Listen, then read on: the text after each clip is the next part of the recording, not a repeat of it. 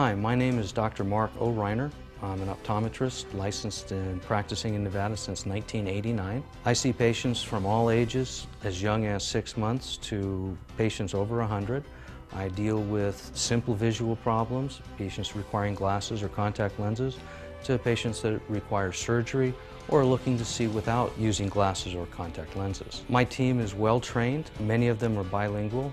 I have opticians who speak English and Spanish, as well as the front desk is fluent in English and Spanish.